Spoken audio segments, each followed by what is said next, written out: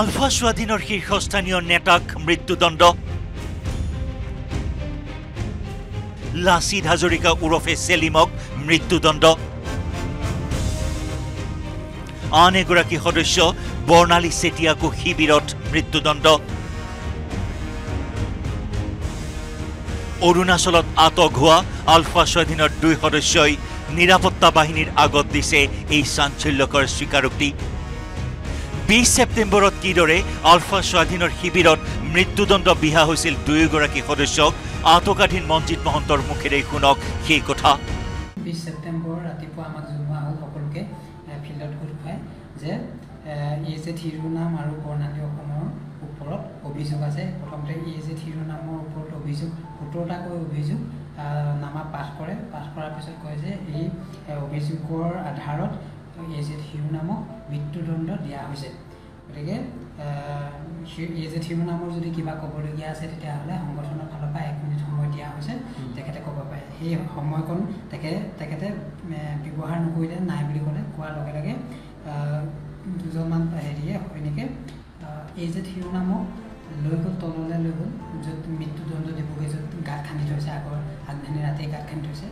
তাতে গাঁত খান্দি তাতে আমি গুলি শব্দহে শুনিছোঁ পৰেশ বৰুৱাৰ বিশ্বস্ত সংগী লাচিত হাজৰিকা ওৰফে চেলিমৰ মৃত্যুৰ খবৰ পোৱাৰ লগে লগে এতিয়া হাহাকাৰ লাগিছে লখিমপুৰৰ ঘৰখনত।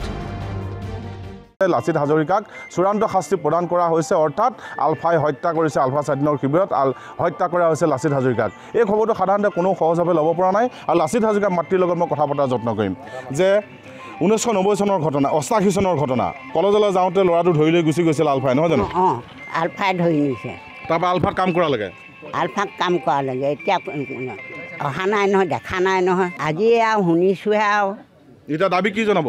এতিয়া মোক ল'ৰা লাগে ল'ৰা লাগে ক'ত কি আছে মোৰ ল'ৰা লাগিবই। সিহঁতি মাৰি পেলালেও লাগিব নেমাৰিলেও লাগিব। খুৱাব নোৱাৰে যি কেলৈ নিছিলে?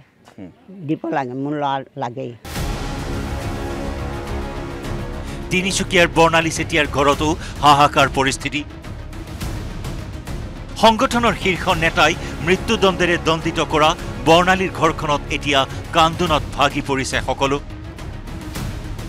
এগৰাকী খেলুৱৈ হিচাপে পৰিচিত বৰ্ণালীৰ আলফা স্বাধীনৰ শিবিৰত এনে মৃত্যুক সহজে মানি ল'ব পৰা নাই পৰিয়ালে। মৃত্যুদণ্ডৰ কাৰণ বিচাৰি পৰেশ বৰুৱালৈ প্ৰশ্ন বৰ্ণালীৰ পৰিয়ালৰ। কথাটো সঁচা নাই মিছা সেইটো আমাক ভোজ বৰা ডাঙৰীয়াই কথাটো সম্পূৰ্ণকৈ আমাক জনাব লাগে। কি কাৰণে মাৰিলে ক'ত মাৰিলে কোনে মাৰিলে কি দুখ কৰিলে সেইটো মানে আমাৰ স্পষ্টকৈ আমাক খবৰটো জনাই দিয়ক।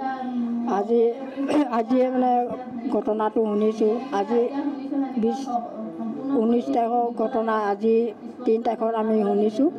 গতিকে কি দুখত মাৰিলে কি কাৰণত মাৰিলে কি ভুল কৰিলে স্পষ্ট কৰি মানে সেইটো কথা আমাক পৰজবুঢ়া ডাঙৰীয়াক আমাক জনাই দিয়ক আৰু আমাৰ ডেড বডিটো আমাক ঘূৰাই লাগে।